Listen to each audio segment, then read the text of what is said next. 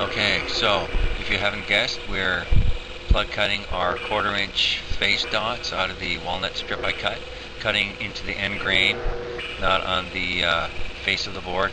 That way it'll uh, darken up nicely once I add the finish. And here we're running the uh, bandsaw on the piece to get the little plugs out, about a quarter inch down off the end, off the front there.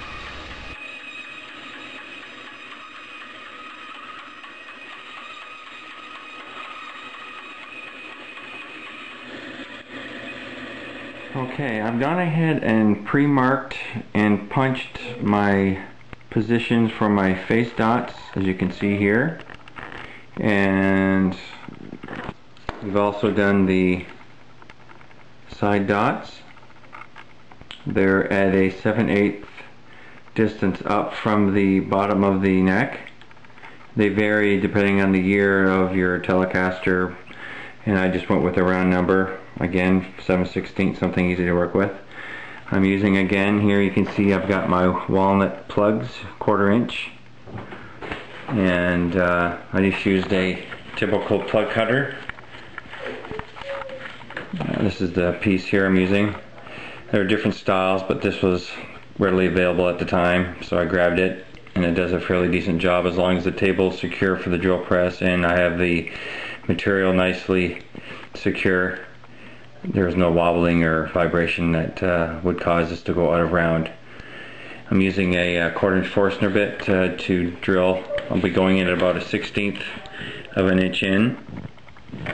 That should give me enough material for gluing and I just use a typical punch nothing elaborate or special there actually I took this piece off and I just used that there. For the side markers I ordered uh, some phenolic rod, just some black plastic, and I just cut that into little uh, about a quarter inch or 3 16th inch lengths and I just uh, drill them in or I drill my side dot positions and glue them in and let them set and sand them down. Pretty straightforward process. Um, obviously you want your center line to be uh, dead center as much as you can down the length of your neck. So if anyone ever, you know, takes a glance to see if they're lined up, they're nicely lined up. There are different, uh, for this 12th fret position marking, the dual uh, pieces here. Um, I went with a, uh, I think an inch, an inch and a sixteenth uh, spacing there. It varies from year to year as well, uh, depending if you're trying to do a neck that's uh, period correct, you'd want to research that. Same with the height from the bottom up. It varies from year to year. You'd want to research that as well. Once the uh, markers are in and set, I'll probably drop the neck back down onto the jig that we did the compound radius and just hit it again. I had the router set at the last uh, run that I did, so it's just a matter of taking those off quickly, and that'll take care of that. And I'm using uh, my I have a template that I built based on the master fret position uh, template that I got from LMII, Luthier Mer Mercantile. And this is what I use for my miter box when I do my frets. You'll see that later, I'll explain it later. You'll see I have my position uh, holes dead center on the neck.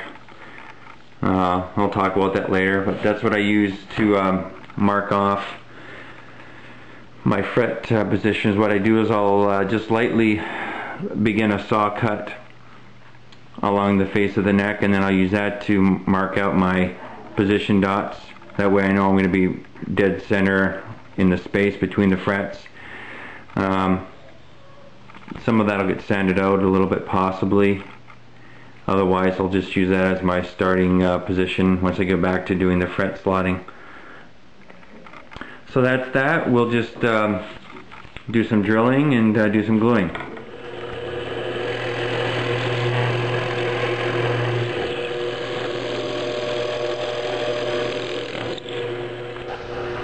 Sorry about that, my camera angle's off a little bit. You can just catch the drill bit at the top of the screen there. I just have a T template that I use to clamp my neck in while it's still screwed into the fret uh, template, and I just drill away. Okay, so we're on to gluing our face dots. I'm just using standard carpenter's glue. Just put a dab on the end of it. I just stick it in here and I give it a bit of a twist to get any air bubbles out of there. And because I'm a bit of a perfectionist, I'll probably line up the, if there is any grain in there, I'll just line it up lengthwise to the neck.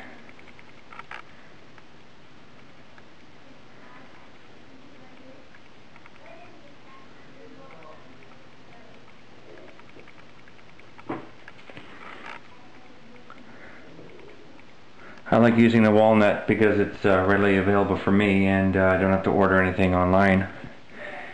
So I just use the same material as I use on the skunk strip and the uh, plug. Okay, now we're going to do the side dots.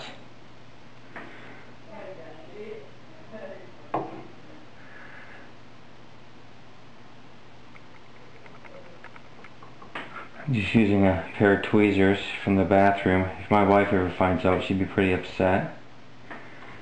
But we got three sets, so I don't think she'll mind.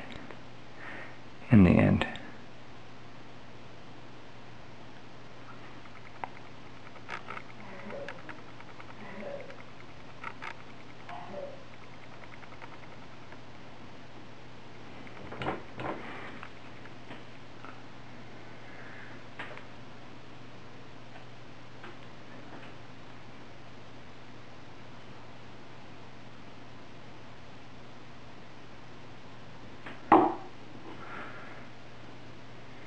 And once this process is done and it's sanded, it's almost time to start fretting.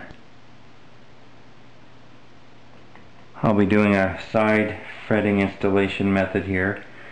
Not something you would typically see. So it'll be kind of interesting to put that one together. And okay, so here is the finished gluing stage of the markers.